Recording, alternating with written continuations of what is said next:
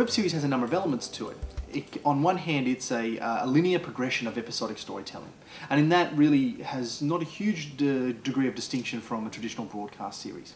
Where things get interesting is on is on three sort of major levels. The first is that you have no middleman by and large when it comes to web series distributions. There's no um, uh, firm gatekeeper you have to go through to get into a broadcast delivery. So it's much more open and accessible, which makes it more conducive to drafting and testing and, and being responsive to audience. The second big one is that it doesn't conform to a time slot or a time schedule. So that affects it in two ways. Not only is it on demand, but it's also infinitely flexible in length. So increasingly what you're seeing with web series is that the content, the length of an episode is being driven only by its content and its dramatic beats, not by anything artificial like an ad break or a time slot. So it's very common to see a web series that has a five minute episode, then the next one might be 10, then they might have a two minute, and then they might have a finale that's 15. And, and this is perfectly acceptable in the way we, we view this kind of content. Um, so at the, at the same time as it's drawing a lot on a television legacy and, and some of the principles of episodic storytelling come out of television, it also have the, has these other uh, structural elements to it. And the third, of course, is interactivity. Now, not all webisodes do. Some webisodes really do function as just kind of web TV. Others really embrace the interactivity component that's inherent in online content. And whether that's uh, leveraging social media to extend a story, whether the web series sits as part of a larger transmedia platform where there are multiple platforms operating at the same time, we're seeing all sorts of flexibility about how the web series can scale up.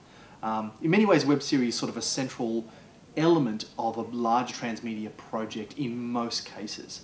Um, whether that extends, those other platforms extend just a little bit from the web series, or whether the web series is a tiny cog in a much bigger wheel, is really a project by project basis.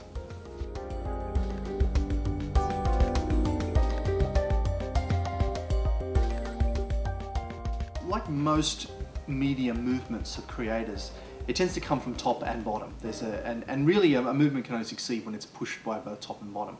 So at the top end, we're seeing um, major traditional broadcasters, film studios, um, putting money behind web series. Originally, it was almost purely in the sense of supporting content for otherwise mainstream broadcast television. So we'd see a show like Battlestar Galactica or Dexter out of the US um, uh, that would have a web series sitting alongside with it that would either bridge gaps between seasons to keep fans going or would add supporting stories, sometimes preludes or, or um, prequel type stories to what's happening in broadcast.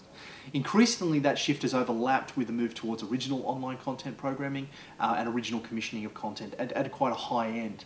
Um, and you can see a lot of that coming through the Sundance Institute. You can see it coming out of Fox and, and HBO and a number of places that have put money into original content in that regard. Sony as well, uh, Sony Studios have also put money in that way.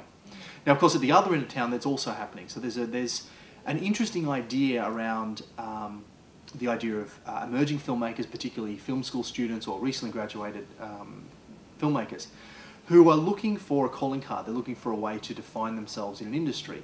Now, the traditional pathway to that has been the short film to festival route to garner enough attention and a certain level of faith that you would have what it takes to deliver a feature or, or, a, or a series. Um, and certainly we're seeing a lot of that, but in the context of web series, increasingly seeing young filmmakers go, well, look, a short film to festival may not be a very good calling card. It may not have the sort of traction that I may want it to have.